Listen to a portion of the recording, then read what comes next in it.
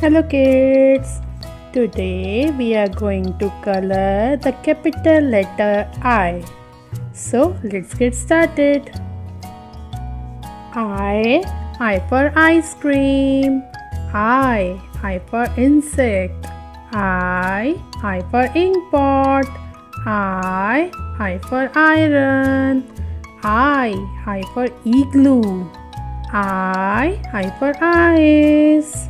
Today we are learn so much words which start from the letter I like ice cream, insect, ink pot, iron, igloo, ice.